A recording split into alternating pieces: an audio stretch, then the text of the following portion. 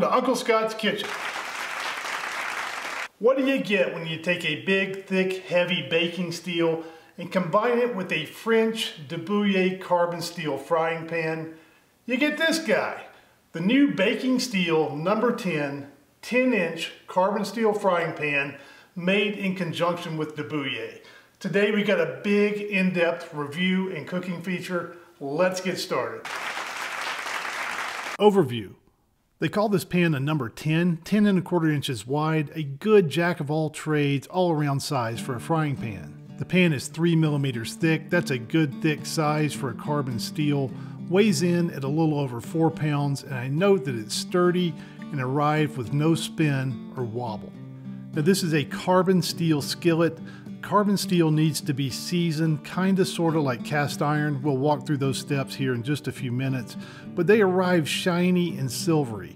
Once we get the pan seasoned, it will start to develop a patina, it will darken in, it will never be this shiny and silvery ever again. Now let's take a look at the pan's handle. It's attached with three rivets, and importantly, it's made out of stainless steel. This is a big deal.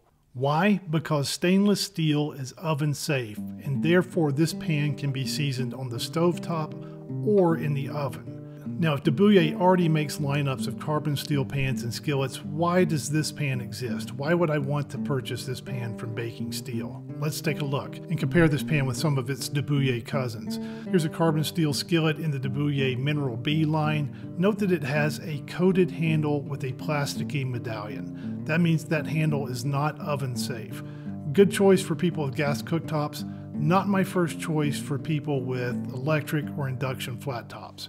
However, for those people, I usually recommend the De Buyer Mineral B Professional lineup. In the professional lineup, you get an oven-safe stainless steel handle. This pan is kind of sort of somewhere in the middle. You kind of get the shape of the regular Mineral B strip style handle with the oven-safe stainless steel material of the Pro model. Of course, that leads to the question, why should I buy the baking steel? The answer is there is a gap in the lineup.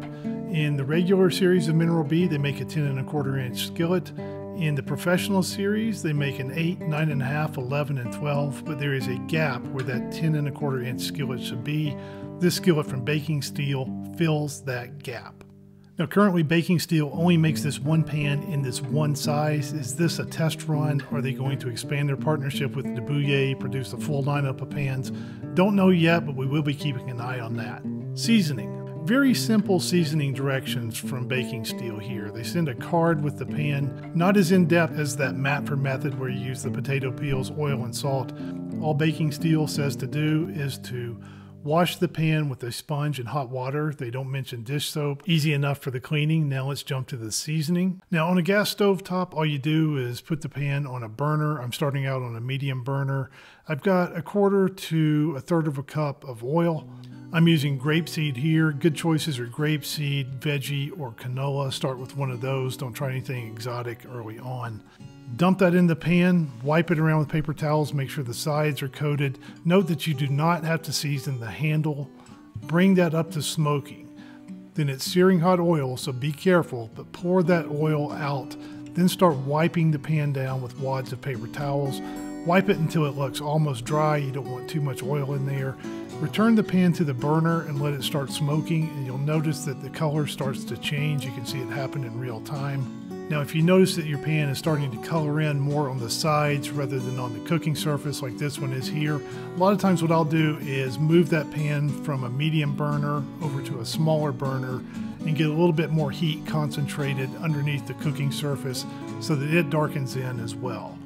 And that's all there is to it for a stovetop seasoning. Now let's take a look at seasoning in the oven. Now, if you want to season the pan in your oven, all you need to do is start with a dry pan, put in a half teaspoon of one of those oils, wipe that oil all around with some paper towels, wipe it until it looks almost dry, then take some new paper towels and wipe it down again. Make sure there are no streaks of oil, no drops of oil. It should look almost dry. Put that pan in your oven at 450 degrees for an hour, hour and 15 minutes. Then turn your oven off, let that pan cool down in your oven. Look at the card that came from Baking Steel. They show a new pan and a seasoned pan. That is not a jet black shiny pan. That pan is brown and blotchy. That is a well seasoned pan. It is ready to cook. Cook, cook, cook more and worry about your seasoning less. Okay, now let's jump into some of the cooking tests. I've been cooking in this pan a little over a month now, and I want to run through some of the highlights, some of the things I've really learned about the pan. Now, when I have a new carbon steel skillet, it always takes me a little while to learn the pan. I have a lot to learn about it. I have to learn which burner it works on the best. I have to learn how much heat to use, how long to preheat the pan. And therefore I start out with things that are kind of easy, kind of everyday food items. Here's what I mean. Here I'm cooking some okra. I give the pan a shake and the okra's sticking just a little bit. Here I'm cooking some potatoes, give the pan a shake, and the potatoes are sticking just a little bit. Now, is there anything wrong with the pan? Do I need to touch up the seasoning? No, all I had to do was just learn to heat the pan a little bit longer at a little bit higher heat. Now things like chicken nuggets for my son, more okra, more potatoes, I give the pan a shake and everything slides around. So the more you cook, the more you learn about your pan and you find that if things are sticking just a little bit, really there's nothing wrong with the pan or the seasoning. You just got to update your cooking techniques just a little bit. That's okay. I like learning new cooking skills. Now let's go ahead and level up to something a little bit more difficult. Eggs, both fried eggs and omelets. These are the very first eggs I've cooked in the pan. I always get a little bit nervous doing this for the first time on camera. In goes the butter, in goes the egg, and boom, it's sliding around. Now admittedly here I've got the pan a little bit hot, when I flip the eggs, you can see some brown color on there. That's some of that butter browning. Now, I've been cooking a bunch more eggs, and I've kind of dialed the heat back down until I found a sweet spot. The eggs cook a little more slowly, the whites stay a little more tender, yet the pan is still hot enough so that the eggs don't stick. Omelets are also non-stick. Here I'm doing a little bit of a Western omelet with some ham and cheese, no sticking there. Fantastic pan for eggs. Now how about a big, tough test? Beyond Meat Burgers, oh Lord, on an induction burner. Now this induction burner has warped the heck out of other carbon steel pans. You may have seen this on my other videos. Warped the heck out of an 11 and 7 8 inch Matfer. It's now a spinner. Also a 9 inch Matfer. It would warp the pan in real time and the pan would return to shape as it cooled. So here we go, I get the pan on the burner. It's actually preheating fairly normally. Some of those other pans, it would just go off to the races, go up to over 500 degrees. It's not doing that with this pan. In goes some oil, in goes Beyond Meat patties. My wife actually walked through and asked if something plastic was burning. Nope, that's just the aroma of Beyond Meat. They fried up nicely. And the most important thing here is there's no warping. The pan is not spinning. It's not spinning while it's on the eye, and it doesn't spin when it's cooled down. So I didn't get any warping, and that's a tribute to that three millimeters thick thickness.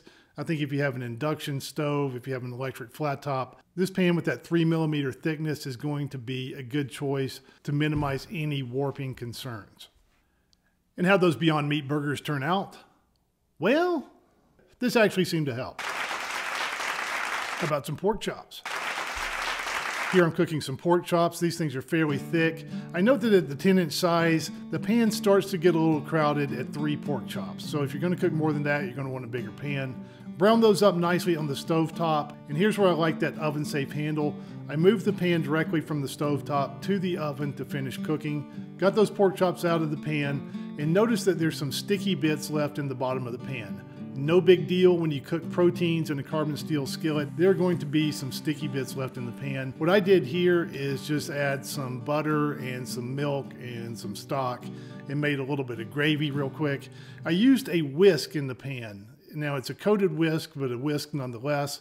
Whisked all that around, got all those sticky bits off. The gravy turned out nicely and there was no damage to the seasoning. Now the bacon tart test. Yes, the bacon tart test.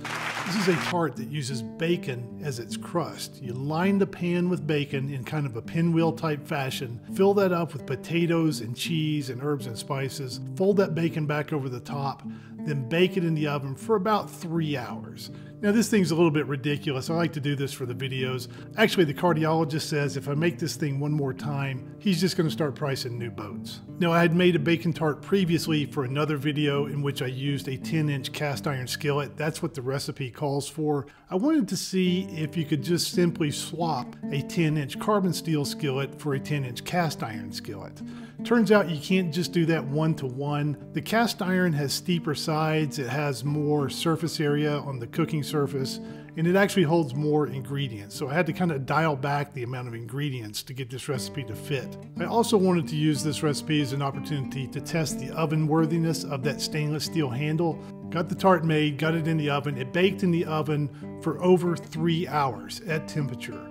Took it out and that stainless steel handle performed flawlessly. No damage, it worked just fine.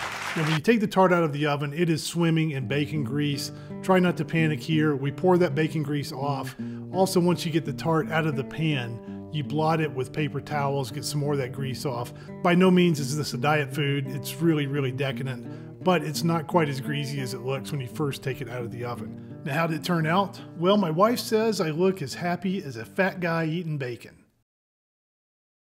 And here, although the tart turned out deliciously, I'm going to have to say the pan was not non-stick at all in this test. Now, some of this was my fault. In my haste to eat delicious bacon, I forgot to run a spatula underneath the tart before turning it out, but I did get a lot of sticking on the bottom of the pan there and lost some bacon off the bottom of the tart.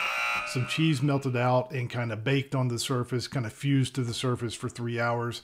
I had to almost nuke the pan. I got out the chainmail scrubber, I used a sponge, I used dish soap and hot water, scrubbed the heck out of the pan, but really not that big of a deal. All I did was do a maintenance seasoning on the stove top, less than 10 minutes and my pan was re-seasoned and I can go on about my cooking again. Now besides cooking eggs, the other place in which I really think carbon steel shines is in high temp sears of meat. Here I've got a big, thick, juicy ribeye steak.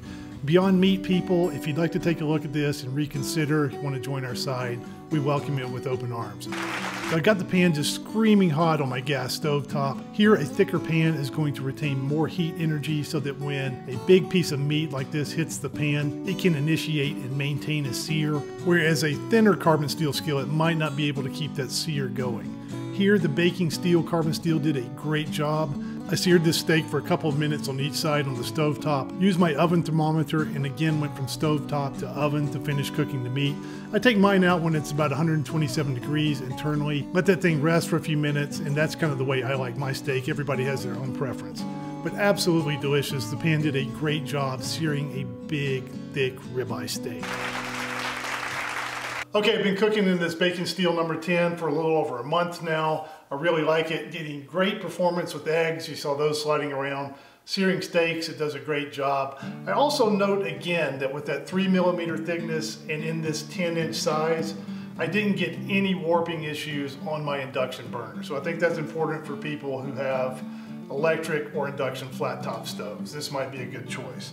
Also along those lines, if you're looking for a 10 inch carbon steel skillet with that good De Buyer cooking performance with an oven safe stainless steel handle, really there are not many other choices. This is the way to go.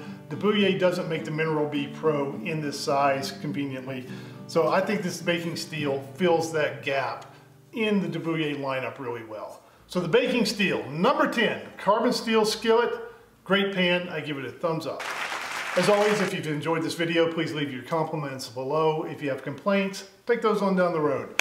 Thank you for watching. Check out the shopping links. Check out the links below. Leave your feedback. See you again next time on Uncle Scott's